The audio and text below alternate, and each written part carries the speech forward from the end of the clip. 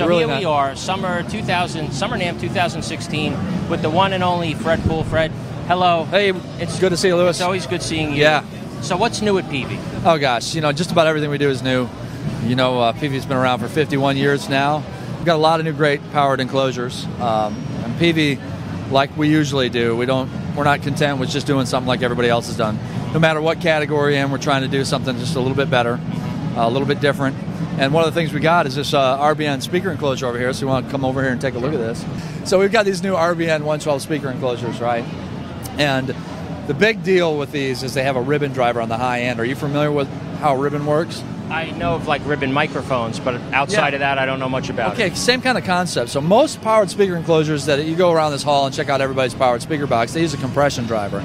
And how a compression driver works is it's got a little voice coil on the outside, and it's kind of a, a conical dome uh, like this, and the voice coil moves in and out of a magnet, right? And uh, it creates frequencies that kind of come off this spot in time, this spot in time, this spot in time. Anyway, what they all do is end up bouncing into each other and causing distortion, basically. And we have these things called phase plugs that are trying to take care of some of the distortion that's inherent in a compression driver. The cool thing about ribbons is it's a flat piece of aluminum and all the frequencies come out at the exact same point in time and create absolutely no distortion. So really, really crystal clear high end. And why that's important to guitar players? I mean, this is a, this is a really big deal because people say, "Well, what, what the heck? It's a, a powered speaker is a powered speaker, a PA system's a PA system." It's really entirely not true. If you look in a lot of high end studio reference monitors, they use ribbons, have been for a long time.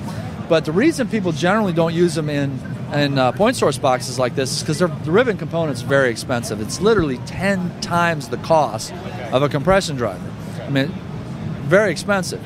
But it's nobody will tell you that it's it's not a better product because it is. But going back to why it's important for guitar players, I guess that's why ribbon microphones are more than other microphones. Oh right? yeah, well they're, they're expensive. It's, uh, but uh, why it's important for guitar players, and this is something they may not think about all the time, is because with acoustic guitars especially, the pick attack, the nuances of the string, all come alive when you hear a ribbon.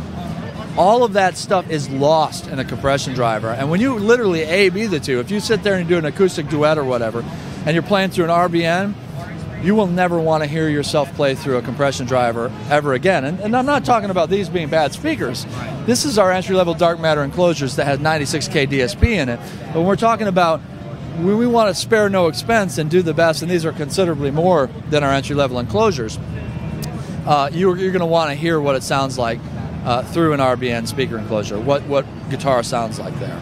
You said RBN. Ribbon. That's Ribbon, okay. Yeah, it, it is RBN is the is the uh, the model number. That's correct. But it stands for ribbon, so everybody knows what we're doing. We're using a, a a Black Widow style Scorpion speaker in here with a dual voice coil replaceable basket and a ribbon driver. Each of one of those components cost five to ten times as much as the components that are in our competition's boxes for a similar price. And one thing we try to do at Peavey all the time is when we're talking to people, the more people know about our company and what we do and how passionate we are about speakers, the better we look. Uh, and we really want to get a comparison. We really want people to say, hey, look, go try the competition. There's a lot of good products out there, but please give us a chance of an AB. Yep. When we get the AB, we generally get the sale. So, in addition to that, on the high end, we've got this new subwoofer. And man, if you're in a band, you know how important it is.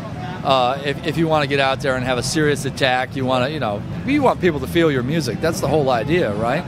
So the one thing that was conspicuously absent, because we've gone away from these very, very large PA systems in our industry, everybody gets the speaker on a stick mentality, and they think that's okay. But what's lost in speaker on a stick is that kick drum that hits you in the chest. You know, when we were kids and we went to a concert and you heard that boom, that's, that's what rock and roll is about, and that's what we do. And in these little portable PA systems, you didn't get any of that. So we come out with this guy here. This is a full power down to 35 hertz box, legitimately 1,000 watts RMS power. Now, 2,000 watts peak. You and I were talking about that earlier, Lewis, about people throwing around power ratings, saying their box is 1,000 watts of power. Uh, you know, that's nonsense in most cases.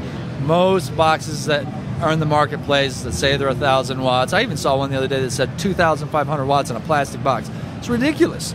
You know, if you take a thousand watts and put it to one of those speakers, legitimately, most of them will catch on fire. I mean, it's it's that big a deal. But these boxes genuinely have a real full 1,000 watts of power in them. This is the real deal.